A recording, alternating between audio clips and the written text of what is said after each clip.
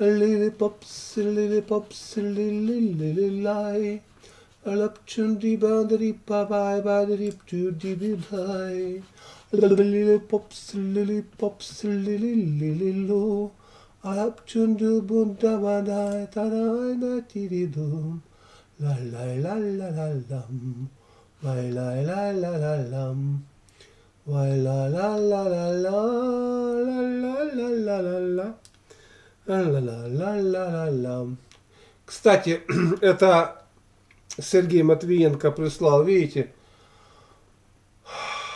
все продолжает с него выходить.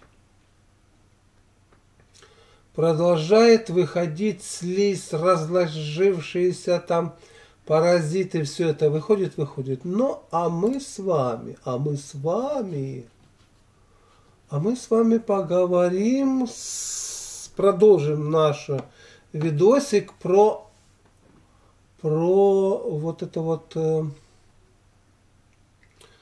предыдущее. Не то, что я там очищение делал с помощью слез а предыдущее разбор полетов прислала Ан. Ан. Больше она не хочет, чтобы ее как-то называли, поэтому мы сейчас почитаем. А именно,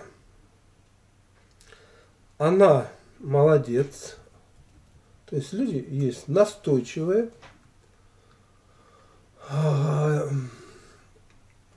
описала свою жизнь, что, что и как было.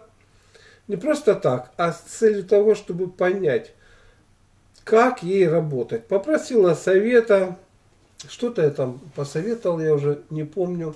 Работала по моим книгам и так далее, и так далее. И вот так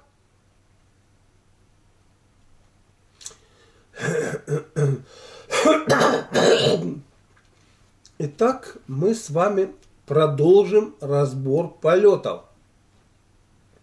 Петрович, здравствуйте. Прошел год моего оздоровления и взаимодействия с вами. Вот что в течение этого года было?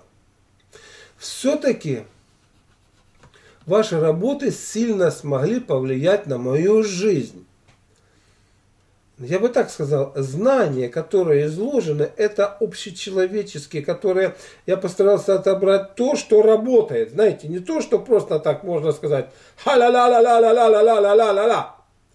А что, для чего, как? Знаете, словоблудием занимаемся, а толку нету. Важно, чтобы работы, если это работы по оздоровлению, они давали реальный результат. Держусь без лекарственных средств. Настрое, настроена на полное восстановление. Молодец. Так и надо. Измерять сахар перестала уже два месяца. Чувствую, в каком состоянии нахожусь по своим ощущениям, кожным покровом. Кожа шелушится, когда сахар чуть выше нормы становится. Сразу стараюсь устранить.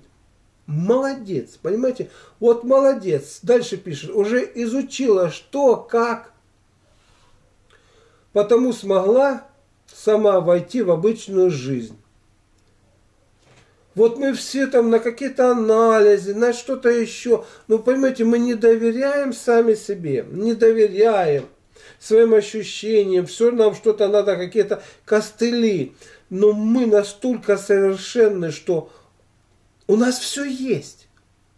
У нас все есть. Просто ориентируйтесь. И, кстати, вот сахар, видите, сахар, который не усвоен, он сушит организм. И в первую очередь, что у нас начинает пересушиваться? Кожные покровы, там, слизистые. И уже по этим причинам мы начинаем уже ориентироваться.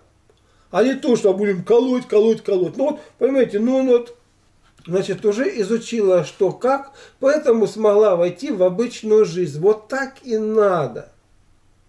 Устраняя то, что нам мешает в жизни, а для этого надо сесть и разобраться, что нам мешает жить, что нам мешает быть здоровым.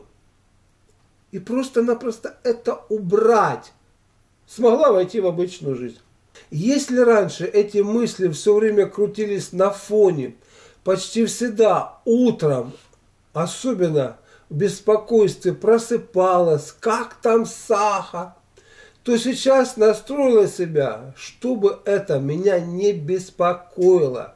Тем более организм подскажет текущее состояние не хуже приборов всяких. Вот одно дело я вам говорю, а другое дело человек уже на практике. Ну мы же все, мы, вот не считайте себя хуже э, этой женщины, хуже меня.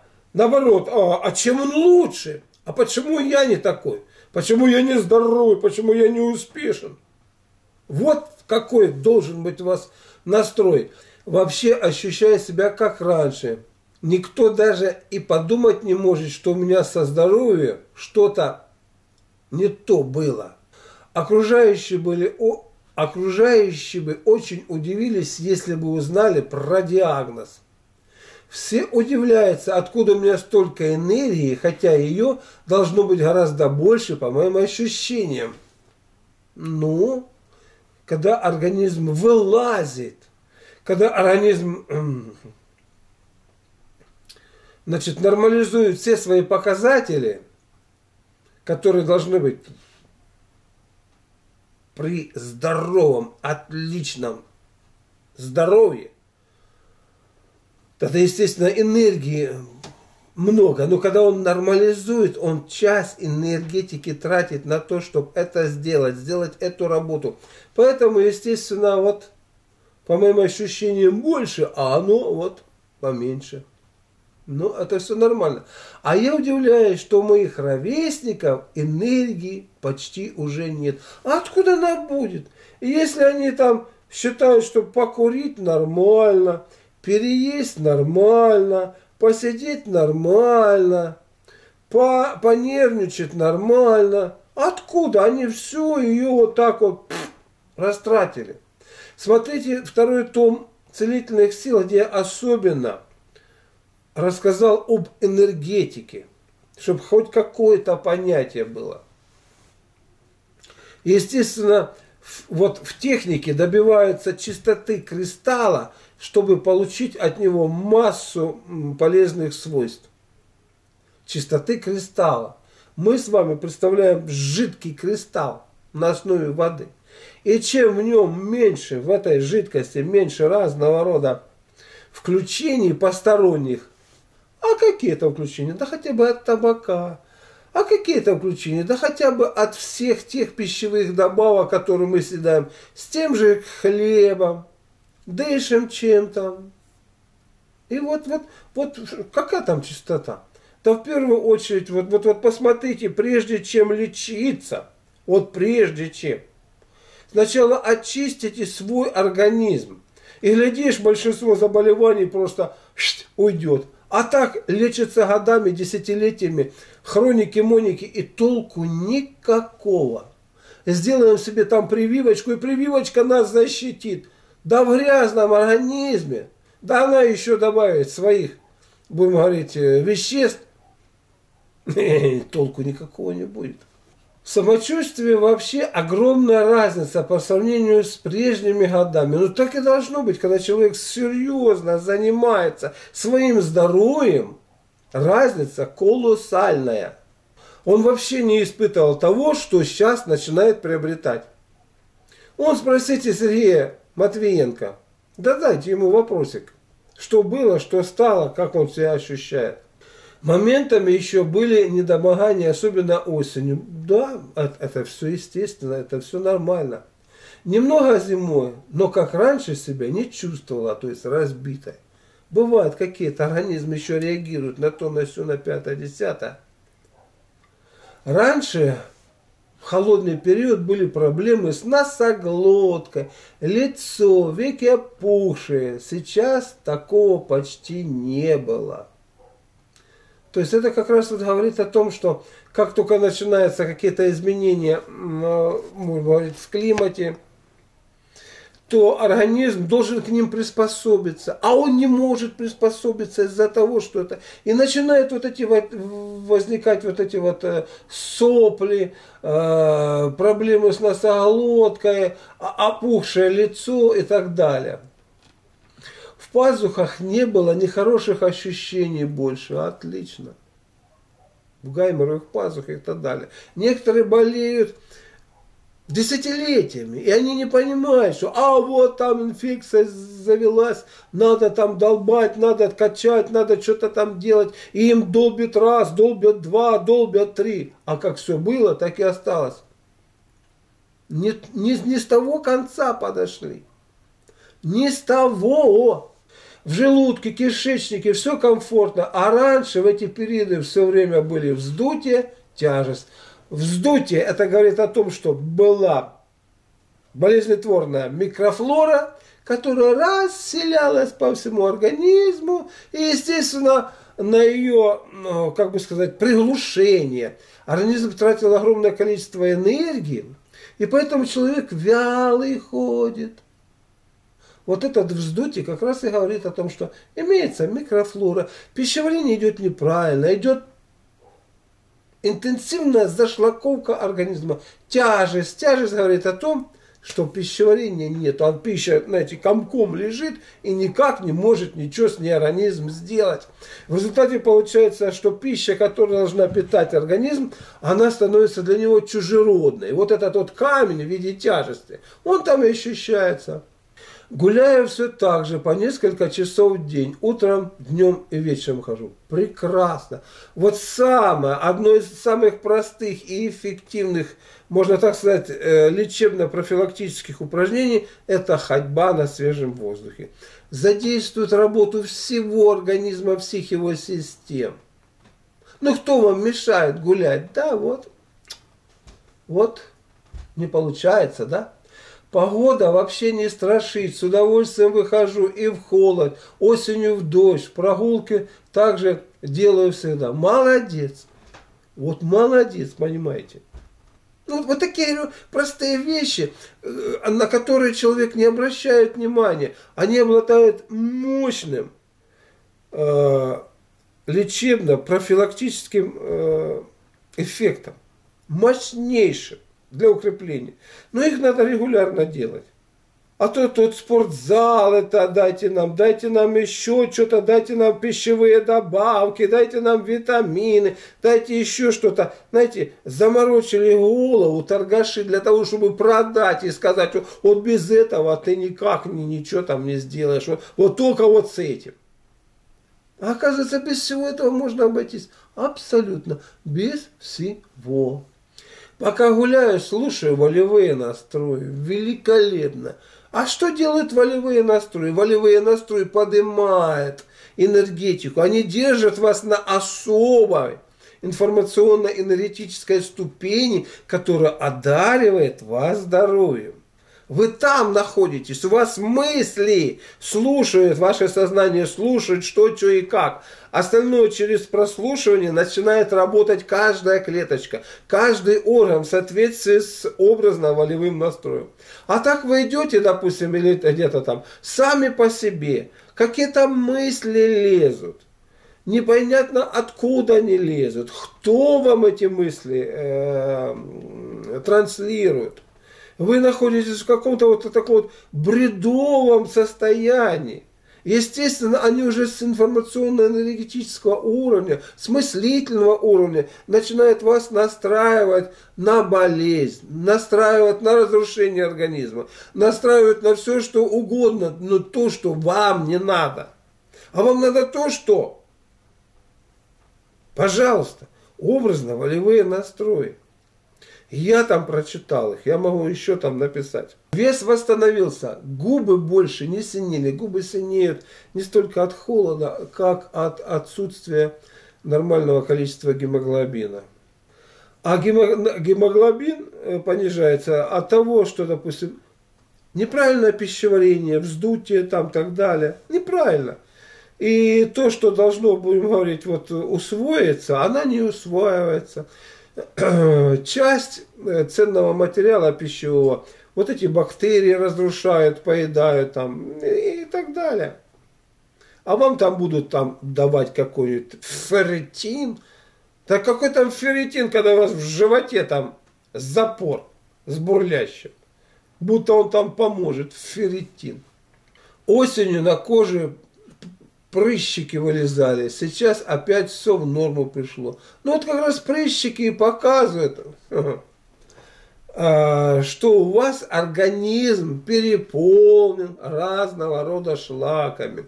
Плюс там еще имеется игноиродная инфекция, так называемые стоки, стафилококки. Понимаете? Коки, коки, коки, моки.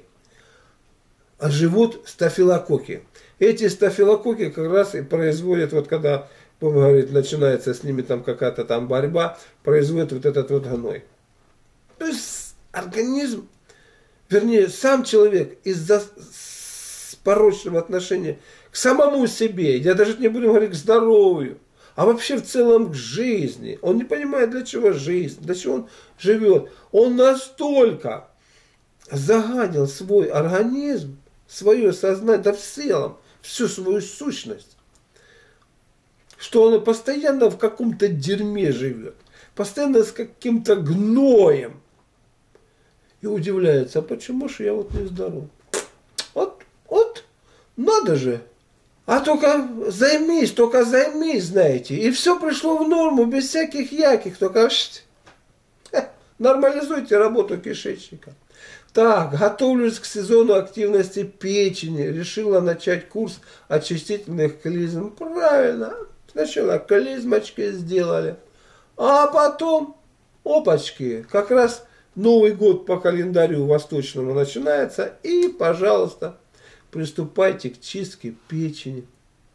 Весной курс противопаразитарки опять пройду стадикампом. Молодец, ну молодец, что сказать.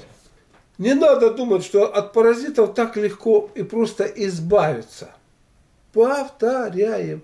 Природе всегда так и есть. Вот, вот там, грубо говоря, животные нагуливают весь, то есть все пятое, десятое делают, живут, там размножается период. А потом есть такой период, когда они едят а, особые травки, особые там вещества, которые способствуют очищению от паразитов. Поэтому, поэтому Тудика. Курсик. И отлично. Про школу духовного совершенства хотел написать, как только вы затеяли ее. Ведь действительно работа на тонких уровнях начала идти. Это было так интересно отметить. А именно, я вам все говорю, знаете, вот мы все пытаемся, грубо говоря, прыщ вскочил на коже, там, заболел сустав, забурлило там в кишечнике, понизилось там, грубо говоря, зрение, повысился сахар и так далее, так далее, так далее. А все начинается с нашего сознания. Как мы мыслим, почему именно так поступаем, почему вот то хотим – Почему так себя ведем? И все это потихонечку с мыслительного уровня начинает материализоваться на нашем теле. И то, что мы имеем, то, что мы имеем, это плод наших долгих усилий, начиная от рождения до настоящего момента. И если мы начинаем менять поток своих мыслей. Естественно, за мыслями идут изменения привычек, черт характера, пищевых, ролевых, общественного поведения и прочее, прочее, мы становимся другой личностью, с другими возможностями и, естественно, другими характеристиками. Если правильно ведем себя, более здоровые, более открытые, более талантливые. А если неправильно, просто-напросто вот такое слово есть, деградируем, то есть исчезаем. Все те потенции, которые нам дал Господь, все это летит в тартарары. начали события, ситуации так складываться удачно, необычно, наглядно увидела с этого периода, как идет такая работа. А это уже дорогого стоит. Вот если вы целенаправленно начинаете над собой работать, особенно на уровне побуждений, понимать, откуда растут ноги у мыслей, так сказать, то вы меняете свою, вот действительно, свою жизнь. Не просто там какой-то заем взяли, так, ага, вот сейчас я изменю. И тут же, грубо говоря, его куда-то там слили. А у вас идет какая-то интересная наработка. Жизнь становится интересная. Это самое важное, ну, важно отметить. Да я сама чувствую огромную разницу с тем, что был год назад, а уже про предыдущие года и речи нет, как будто вообще другая жизнь.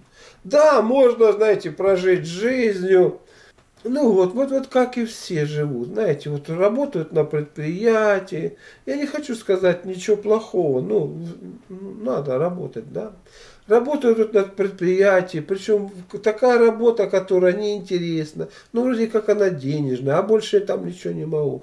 И за дня в день, значит, вот э, там на пенсию там. А что дальше делать? А хрен его знает. А что и как? Понимаете? Человек не понимает, для чего ему дана жизнь. Для чего ему дана. Чтобы он работал, тем более на какого-то дядю, на какое-то там предприятие. И еще. Да, работать надо. Никто не скажет. Но в то же время надо жить так, чтобы вам было интересно. Интересно. И вы чувствовали, что вы развиваетесь, а не деградируете. Что вас уже ничего не интересует, кроме дивана и телевизора. С бутылочкой пивка или еще там что-то такое. Вообще я очень рада, что есть возможность взаимодействовать с осознанными людьми. И знаете, вот вот эта вот осознанность, она должна быть правильная. Сейчас вот появились разного рода лжетечения. Это, знаете, как вот, вот появилась религия, допустим, христианство, и тоже появилось, грубо говоря, там одно течение за то, что э, почитали иконы, это еще там, да, да, всех этих расколов. А другие говорят, нет, иконы нельзя почитать, началась какая-то борьба, свара. Потом вроде что-то там стало, потом еще какое-то течение, еще течение, потом разделились, потом там, там протестанты, католики, православные, еще какие-то там адвентисты седьмого дня или еще там, там пятидесятники.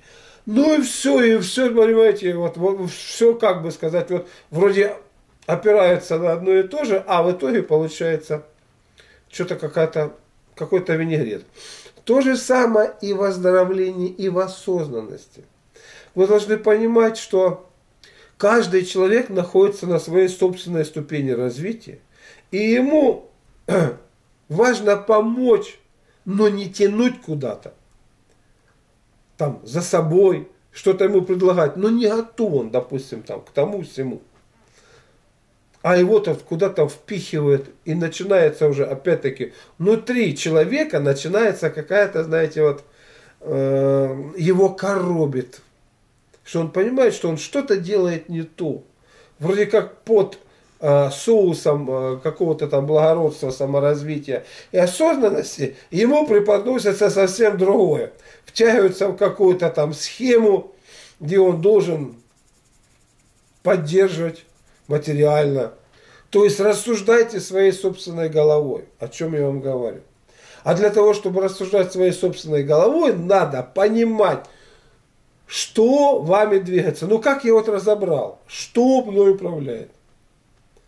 Первое идет уровень побуждений, далее идет уже черты характера, которые сформировались на основе побуждений на основе черт характера, уже привычки, и уже пошла ваша жизнь. Еще хотела поделиться сном. до праздников увидела, что в комнате было несколько человек. Я просто наблюдала. А вы помогали мужчине. Он как бы парил над тазиками, горизонтально, вниз лицом. Поэтому лица не увидела его. Из него выпадали гвозди. И почему-то орехи. Меня такое сочетание даже во сне очень удивило. Гвозди ржавые. Кто-то сказал, что это еще с войны. Смотрите, вот очень интересно, конечно, насчет вот, э, вот этих вот гвоздей. Знаете, когда из человека выходит порча, люди удивляются, что она имеет вид гвоздей сыпятся гвозди с человека. Представляете? То есть, насколько это все имеется, будем говорить, вот э, на тонком уровне, то, что мешает человеку нормально жить, вот именно там в глубинных слоях его сознания, вот этих уровней побуждений и так далее, так далее, в тех, тех, тех, что при материализации, когда это все выгребается – это принимает вид гвоздей. Вы как-нибудь знаете, вот э, я прочитал, я вам рассказал. Вы залезьте в интернет, если кто-то хочет, и почитайте соответствующую информацию. То есть не я один об этом говорю, не она одна об этом говорит. С Донецка, когда еще был мирный Донецк, там был. И как раз вот он занял разного рода порчу, и она вот сыпалось в виде этих гвоздей. Орехи, орехи это вот, знаете, дать тебе на орехи. Такое интересное выражение есть. Я тебе дам на орехи. То есть это уже оформившийся, как какой-то негатив, оформившийся, что он уже созрел и в виде орехов выпадает. Но это на тонком уровне. Видите, кто-то еще с войны. Какой войны? Да, Двое мужчин сидели рядом недалеко, по годам около 40 лет. Ну вот как раз двое голодающих у нас, Сергей и Андрей, да? Остальные не запомнились. Вы подходили только к этому мужчину, на других не смотрели, а я просто наблюдала. Подумала, видимо, это были голодающие мужчины наши, Андрей и Сергей. Благодарю вас, Геннадий Петрович, за такую поддержку, выздоровление. Я рад, что вот э, человек для того, чтобы, ну, будем говорить, сменить как-то свою жизнь, вот он чувствует, что что-то не так, вот как-то ему надо разобраться в этом. Как разобраться в этом? Он, не хочу сказать, что мне поверил, доверил, он открылся, открылся и попросил, ну что я делаю не так, что я делаю не так? Петрович, может ты там подскажешь, ну и я подсказал по мере того, что я знаю. То, что я не знаю и не могу, значит так. Ну, на тонком уровне, видите, действительно, светоч народной медицины и здорового образа жизни. Так сказать, не так-то просто это приходит. Вот такие-то дела. Вот так-то у нас идет разбор полета. Так вот, немножечко поговорим о благотворительности все люди во все времена поддерживали добрые, хорошие начинания. И если вы чувствуете, что моя работа приносит пользу, проявите свою благотворительность на развитие вот этого дела – которая помогает. Потому что о здоровом образе жизни, настоящем таком, каким он должен быть, без разного рода пилюлики и прочих-прочих, никто не говорит. Только здесь, на канале. Об этом полноценно во всем объеме и углубленно рассказывается. Проявляйте свою благотворительность, щедрость, какую вы можете сделать. С уважением и пожеланием доброго здоровья. Есть особый день в году. Наступает в темноту. Новым годом он зовется и всех людей дается. Шелестят конфет обертки, запах мандарин стоит И наряженная елка огоньками нас манит. Веселись, веселись, веселись, Народ. Наступает, наступает новый Новый год. Он что нам несет, он подарки раздает. Радость и любовь несет, это новый Новый год Снова детство к нам вернулось, волшебства мы жадно ждем, И почоканье бокалов ходит счастьем в каждый дом. Ой, веселись, веселись, веселись, Народ. Наступает, наступает новый Новый год. Ой, что нам несет, он подарки раздает, Радость и любовь несет, это новый Новый год. Так и спит дружок сердечный, наливай бокал скорей, загадай свое желание и под звонку ромко пей. ой, веселись, веселись, веселись, Народ наступает, наступает новый Новый год. Ой, что нам несет, он подарки раздает, радость и любовь несет, это новый Новый год. ой.